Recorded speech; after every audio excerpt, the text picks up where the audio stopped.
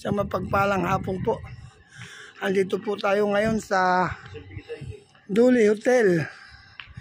Yan po, pagmasdan po ninyo, nandito po kami sa rooftop.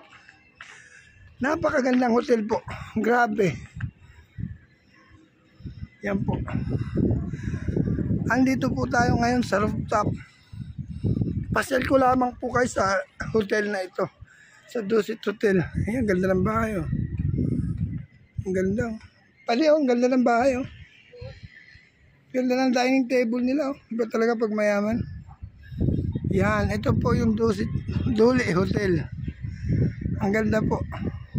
Andito po tayo ngayon sa Lipa, Batangas. Lipa City. Ito po, napakaganda pong lugar. Iikot ko lang po kayo, ano po. Para po tungayan po natin tong hotel na ito. Ito po yung place. Yan. Napakaganda pong lugar. Malamig. Ganda ng bahay, oh. Mansion. Ang gaganda, ang daming magagandang bahay dito, grabe. Super talaga. At- Ha? Oo nga, may, malapit sa Robinson. SM. Ito po yung tagahanga po natin na mga tauhan ng duli. Ito po, ito po yung ganan. Papunta sa ibaba ng hotel. Yan. Galing po ako sa taas. Ito po yung place. Yan. Ito po yung hotel.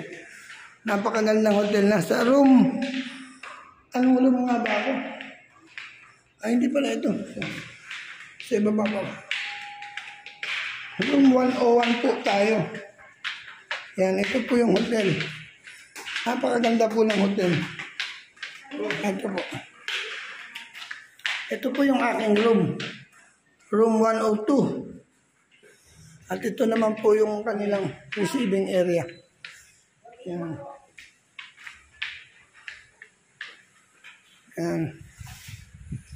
So ito po yung napakagandang lugar. At ipa, ipasal ko po kayo sa aking kwarto.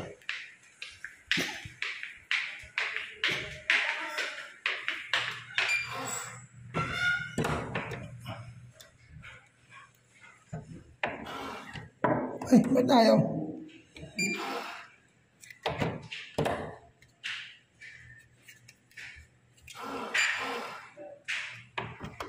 Yun. Yan po. Dali. Dali po natin sa itaas. Ito po yung hotel ko. Ito po yung aking room na bit na napasukan. Yan. Ito po yung higaan ko. Yan. Ito po yung room. May, may sariling TV. May aircon. Napakaganda po. May banyo. Kompleto po. Yan. Dito po. Yan. Yan. Yan po.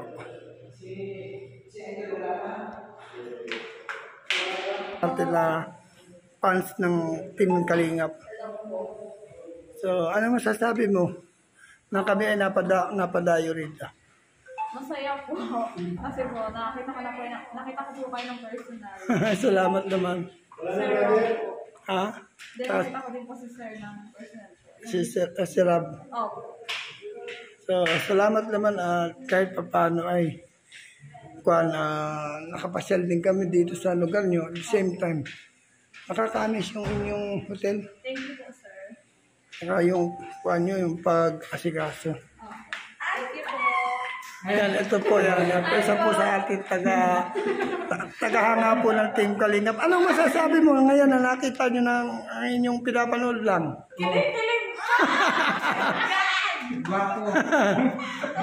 Saka po, tay- ano po kami dahil marami na po siya natutulungan. Opo. Oh, talaga yun ang uh, aming kuan eh, yung ang priority ko si ni Kuya Bal at saka ni Kalingap Rob, yung tulungan yung mga less fortunate.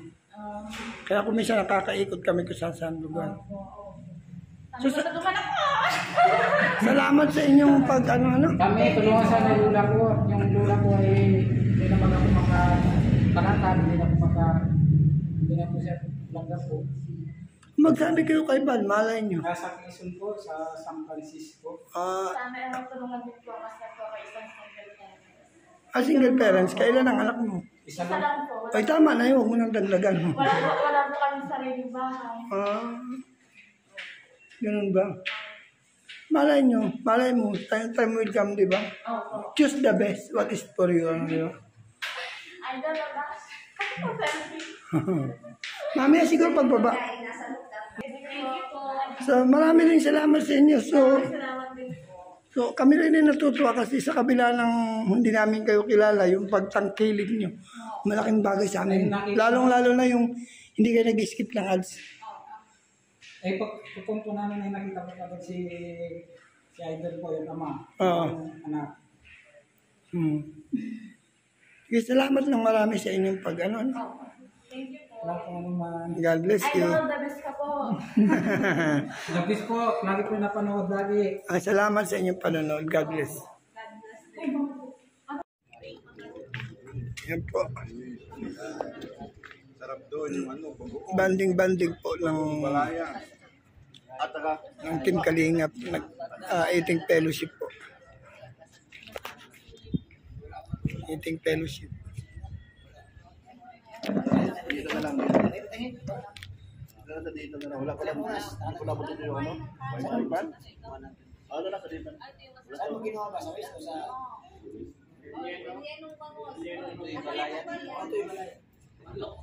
Ilang sa oras?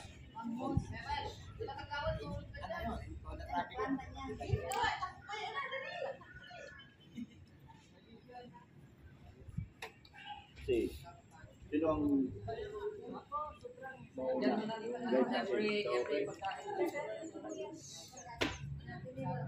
Susundin naman sa Saan susundin? Oh, saan dito? Talaka. Saan pa? Talaka station. Yan po. Nagkakatuwa ang tropa. Ah, okay. Ano kaya? Masyadong niya. Mr. J. Kagawad. Anong masasabi mo? Ah. Anong masasabi mo sa experience na isang vlogger na tulad natin? ay una sa lahat, napakasaya at napaka-bless dahil nakakatulong tayo sa kapwa sa kahit sa kaunting ah, bagay ah, nakakatulong tayo sa kanila Ah, hindi man tayo wala man tayong tatawag na financial na malaking financial ah, sa pamamagitan ng lingap natin sa kanila ay malaki na pong tulong yun para sa kanila Amen. Totoo yun. Hindi lang yun. Nakakapag... Na-enjoy na natin ang tumulong. Nakakapasyal pa tayo sa mga lugar na hindi natin nararating. Ano? Tulad nito. Napaka-blessing na tayo ay nagkaroon ng isang sponsor na nagbayad ng hotel natin. Ano? Kaya nga pinag-pray ko siya nung makausap ko. Pinag-pray ko na Lord, bless mo yung taong ito na ginamit mo para kami pakainin at bigyan ng magandang tulungan. You sa, imagine? pati sa pagkain. Oo. So napaka-blessed ba na tayo ay sa kabila ng ating pagtulong, yung ang Diyos, binibigyan tayo ng reward. Ah, Ito yung reward na, na na-enjoy natin yung pagbablog at pagpapasyal. At the same time, nagpamamasyal tayo, nagbablog pa rin. Ano, di ba? hindi lang basta pamamasyal ang ginagawa natin. Oo. Parang ano, ah, kung saan ay lakbay araw, ito ay lakbay tulog. Oo. At Salamat sa buhay ni Kuya Bal. ano? Isipin mo sa pamamagitan ni Kuya Bal, maraming na tayong napupuntahan at the same time. Sa lahat ng pu- punta natin, blessing.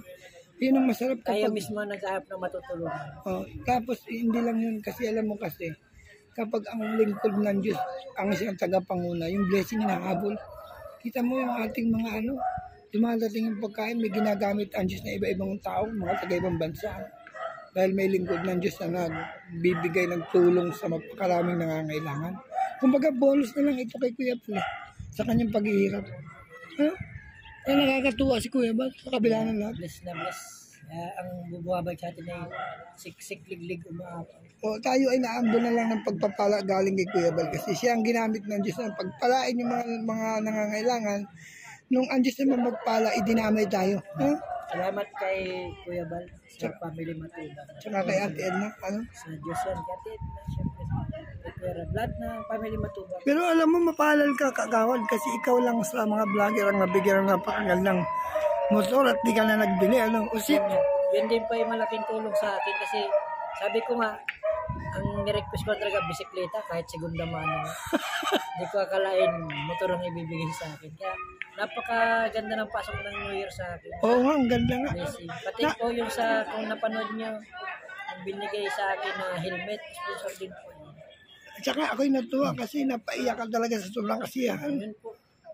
Kahit nga po yung, yung bike lang ang pinakita sa akin, tuwan-tuwa ako. Ay, Oo. siyempre, lalo na yung ano, nagulat ka no. yung motor na ang pinakita. Talaga hindi ko mapigilan umiyak sa Blessing ng Lord yun kasi nakita ng Lord yung pagsusumikap mo eh. Yan nga. Kaya salamat talaga. Yan po. Ninalay ko siya sabi sa kasama kong dalawang bagets. Oo. Na nagsimula tayo sa wala, patuloy lang natin. Kasi Wag- nandiyan lang may, may Diyos na tumitingin sa ginagawa. Huwag lang tayo masira sa pera. Oo, yun lang. Yun ang lagi natin sasabihin na nagsimula kami ng missing kundiling, wala kami. Ito kasi puhunan natin ng mga vlogger, tiwala lang. Oh, yun lang, tiwala. Yun ang wag na wag mong sisirain yung tiwala. Kasi ang tiwala na yan, kapag nasira ka sa isang tiwala na yan, kung ang ang nagtiwala sa isang ma- ma-influensyang tao, kahit saan ka pumunta, Wala. wala na magtitiwala. Kaya tayo, mapalad tayo kasi wala man tayong napakataas na pinag-aralan, ang puhunan natin tiwala na hindi natin ito wawalain kasi legacy yun eh. Yun ang may iwan mo. Oo. Yun ang legacy natin, tiwala sa tao. Salamat kagawan. Salamat din, brother.